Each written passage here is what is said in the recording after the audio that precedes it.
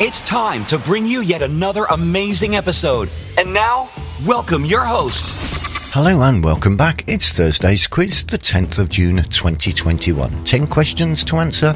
Here we go with the questions. Question number one Which zoo is the home of the only giant panda living in the UK? Is it Chester Zoo, London Zoo, Bristol Zoo, or Edinburgh Zoo? Question 2. How many shades of grey were there in E.L. James' novel? Was it 20, 70, 50, or 99?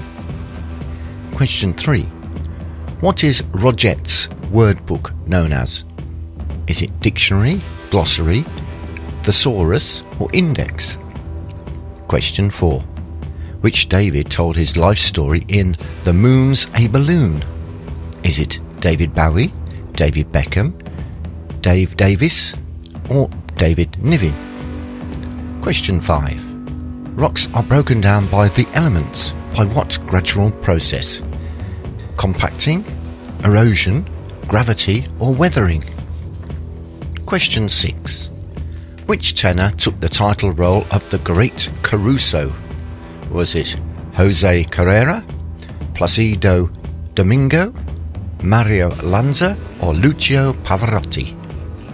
Question 7. The word lupine, L U P I N E, or lupine, relates to which animals?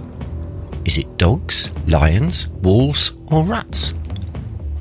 Question 8. Eccles cakes are historically from which country? Is it Derbyshire, Lancashire, Leicestershire, or Westmoreland? Question 9. Which element is found in bones, shells, and teeth? Calcium, cadmium, californium, or carbon? And question 10. Who was elected Mayor of London in 2016? Was it Boris Johnson, Ken Livingstone, Zach Goldstiff, Goldsmith, or Sadiq Khan? Those were your questions for Thursday, the 10th of June. We're now going to give you the answers from Wednesday, the 9th of June. Here we go. And the answer to question number one is 500. The answer to question two is Harry Potter. The answer to question three is hair. The answer to question four is William Wilberforce. The answer to question five is a red deer stag. The answer to question six is Great Yarmouth. The answer to question seven is yellow. The answer to question eight is wasps.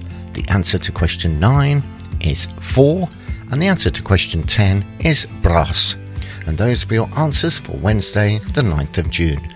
We're going to give you the answers for Thursday on Friday. Until then, thanks for listening. Bye bye for now. Bye bye.